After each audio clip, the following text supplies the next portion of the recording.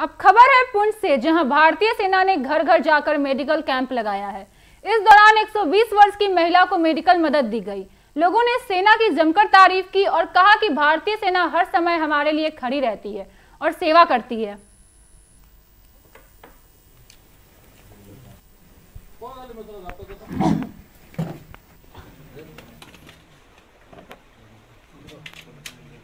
एक खाते थे।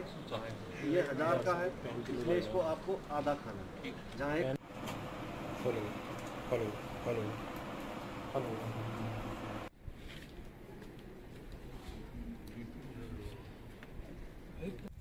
Sir आपका डिस्टर्ब उनके लिए मेरा एक पीछे से सकता है।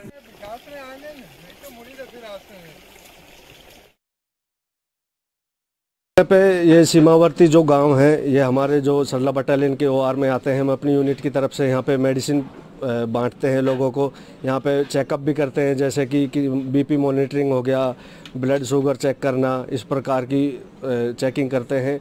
उसके बाद जो बेड पेशेंट है जैसे कि स्पाइनल कॉर्ड इंजरी के दो तीन पेशेंट हैं और सी के डी के बीपी के बहुत सारे मरीज़ हैं ओल्ड एज जैसे एक एक दादी यहाँ पे 120 साल की है, उनको भी आके हम समय समय पे यहाँ पे चेकअप करते रहते हैं मेडिसिन देते रहते हैं। मेरा नाम मोहम्मद जाफ़र है। तरफ़ से मैं ये बताना चाहता हूँ कि जो हमारी भारतीय सेना three oblique three G R ten infantry brigade, Sarla battalion, इसकी तरफ़ से जो लोग घरों में से बाहर नहीं जा सकते हैं, पूंछ या किसी मेडिकल फैसिलिटी से जो मारूम रहते हैं उनके लिए खड़ी करमाड़ा, गोलपुर, अजोट और पूनी दारा।